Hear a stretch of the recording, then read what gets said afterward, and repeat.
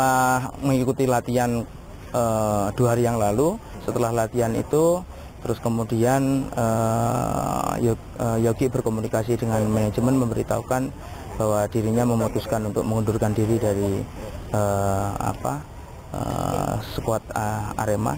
Padahal Yogi sendiri kita proyeksi untuk bisa masuk di jajaran kiper uh, kiper utama. Jadi kita sebenarnya menyesal sih kecewa eh, sorry sebenarnya kita kecewa dengan keputusan Yogi yang mungkin buat kita uh, apa alasannya kurang tepat. Tapi ada hikmahnya juga buat Arema bahwa ke depan kita sangat berkeinginan bahwa Arema ini dihuni pemain-pemain yang punya mental uh, luar biasa. Karena kita mengevaluasi uh, apa yang terjadi musim lalu berkaitan dengan persoalan uh, penjaga gawang itu.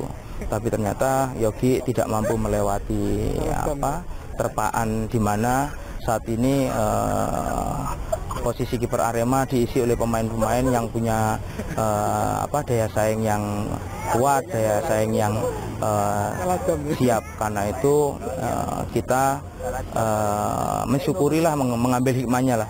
Artinya mengambil hikmahnya sebelum kompetisi bergulir ternyata uh, apa keputusan diambil oleh Yogi dan itu murni keputusan diambil oleh Yogi sendiri.